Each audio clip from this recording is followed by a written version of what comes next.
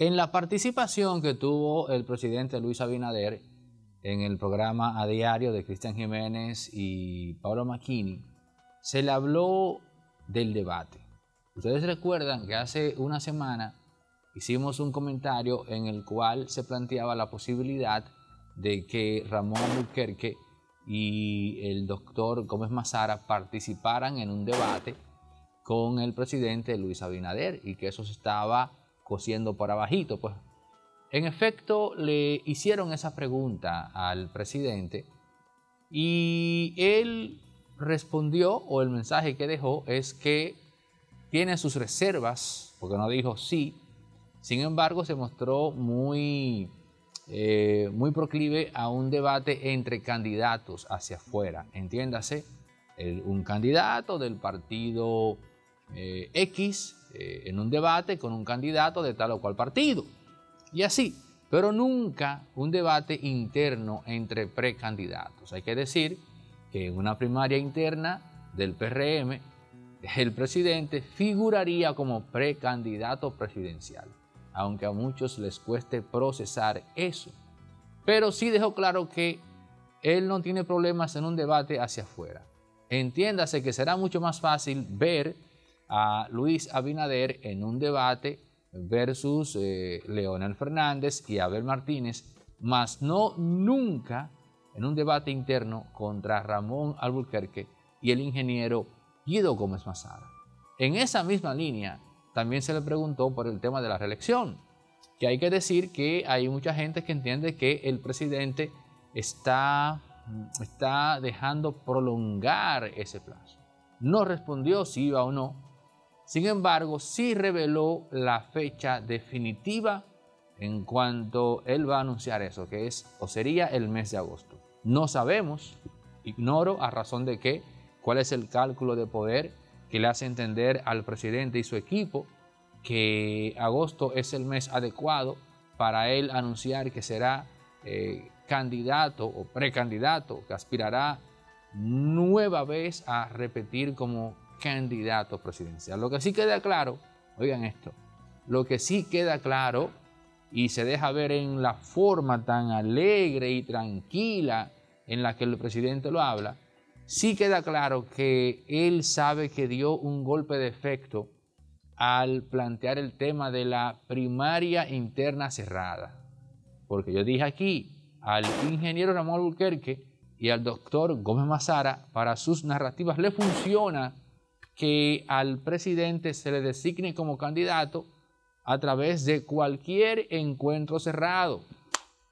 Pero en el momento que se habla de una primaria interna, pues bueno, ya se cayó la narrativa subversiva, se cayó la narrativa contestataria.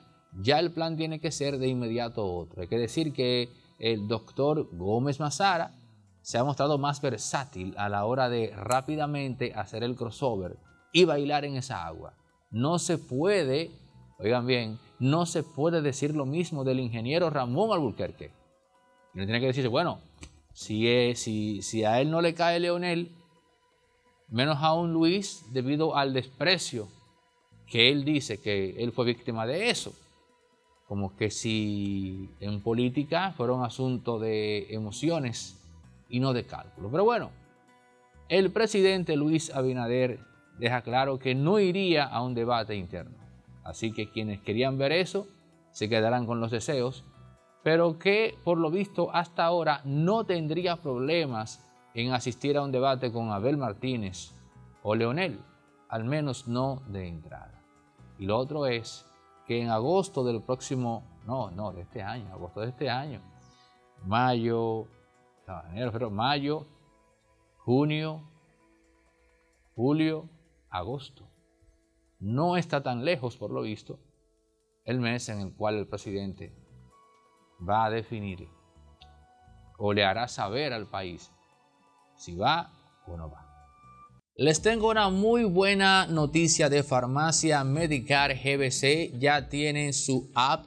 Vayan a Google Play y a a la, tienda de, Android y también a la de Apple y descarguen desde ya la aplicación de Farmacia Medical GBC. Ahí podrán seguir disfrutando a partir de compras de 300 pesos del 20% de descuento en todos sus medicamentos. La Farmacia Medical GBC llega a tu celular Descarga la app y pide tus medicamentos a través de ella. Farmacia Medical GBC, la de nosotros los dominicanos. Y por supuesto que en este mes de las madres vuelve la promoción Mamá Millonaria con Lotedón.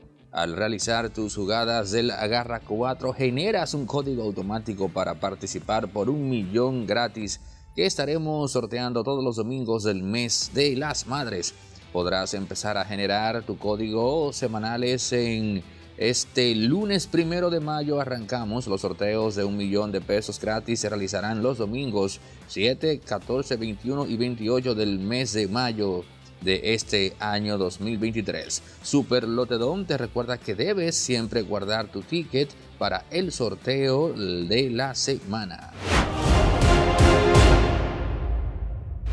La 42 del Capotillo se ha convertido en un sector célebre.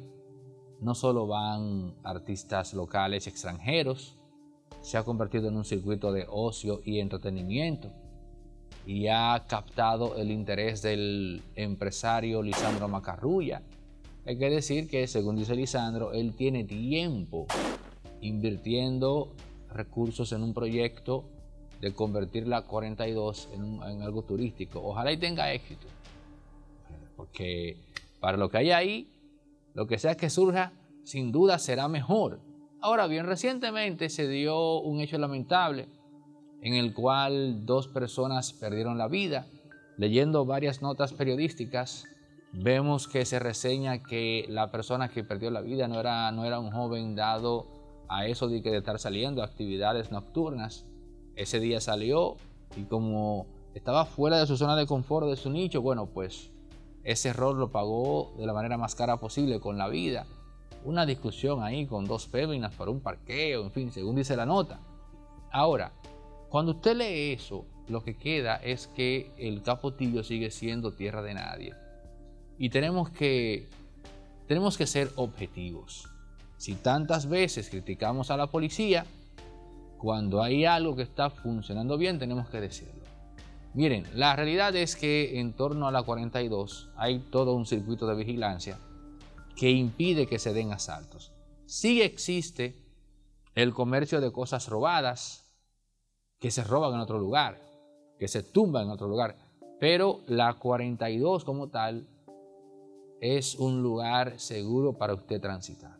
Y lo es porque, entre otras cosas, la Policía Nacional le ha caído encima. La jefatura TEN está haciendo un buen trabajo en torno al Capotillo, específicamente en la 42 como satélite. Y yo espero que todas las personas que llevan los videos cuando uno le manda su fuetazo al jefe de la policía y que le hacen llegar el video, yo apuesto a que este video en el cual yo estoy reconociendo que la policía, la jefatura TEN está haciendo un buen trabajo en el Capotillo, yo espero que este también se lo hagan llegar. Aunque me temo que no, porque el tema es, el tema es la sensación y el placer, el morbo del chisme. De eso estamos hablando.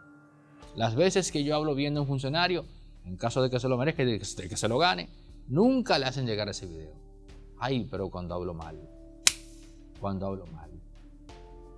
En cuestión de una hora no más se los digo por experiencia. Ahora bien, en la 42 del Capotillo, la policía, amén de este hecho, esta discusión por un parqueo en donde había dos mujeres involucradas y ya yo sé por dónde puede ir el asunto, tiene que ver con el tema aquel de que cuando hay un hombre con mujer usted no discute, a menos que usted esté, a menos que usted esté dispuesto a matarse.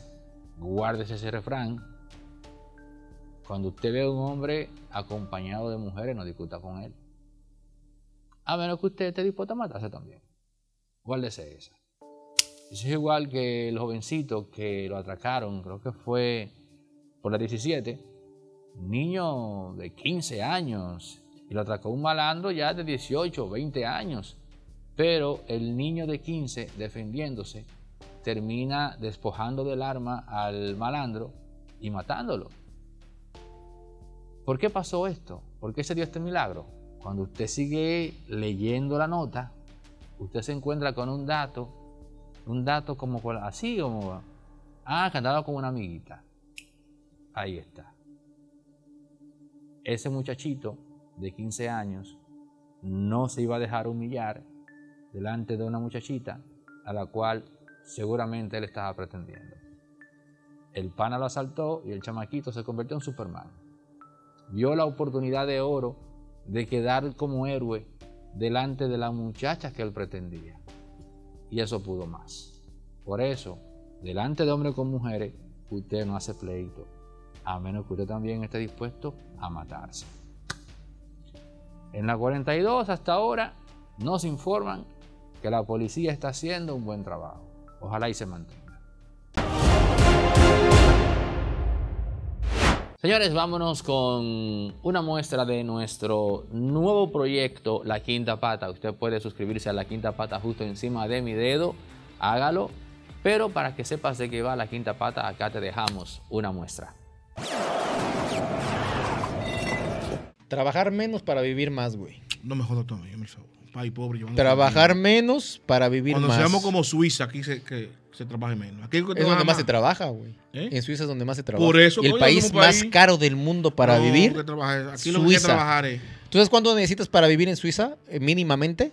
4.300 dólares para poder mantener a una familia de cuatro personas. Bueno, pero el país más caro. ¿Cuánto ganan? El salario mínimo de eh, en Suiza son 6.700 dólares. El diablo. euros, perdón. El salario mínimo. Wow. Está bueno. Papá, pero, que tú, pero oye, es el más caro del mundo. Es el más caro del mundo, sí, sí, sí, es el más caro del mundo. Escúchame, esto, esto tenemos que eh, eh, proyectarlo correctamente. Recuerda que si tú tienes una entrada per cápita, por ejemplo, de 100 mil pesos, y yo de 30 mil pesos, para ti lo que es caro es distinto para mí lo que es caro. ¿Me entiendes? O sea, para mí gastar 10 mil pesos de 30 mil pesos es un tercio de mis salarios. Y para ti 10 mil pesos es una décima parte. Para ti va a ser barato, para mí va a ser caro. Entonces, para uno proyectar lo caro que es la vida en otro país, tenemos que equipararlo con su salario mínimo. Si para tú mandar una familia, como tú bien dices, de cuatro personas, necesitas 4 mil euros y el salario mínimo son 6 mil, ese país no es más caro que este. ¿Me entiendes? ¿Por qué? Porque el salario mínimo aquí ahora son 14 mil pesos. Y tú para mantener una familia de cuatro muchachos, tú necesitas por lo menos... 100 mil. 100 mil. Pero ponle menos, ponle que tú escasamente, tú con 60 lo hagas.